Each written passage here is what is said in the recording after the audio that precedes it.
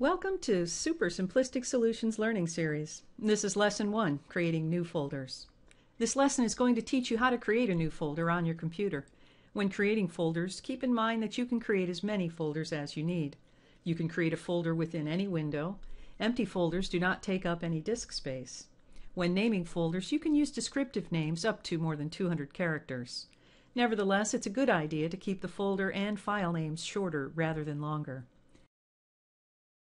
The process of creating a folder is actually very simple. You go to the File menu, you select New, and then select Folder. You'll end up with a new untitled folder.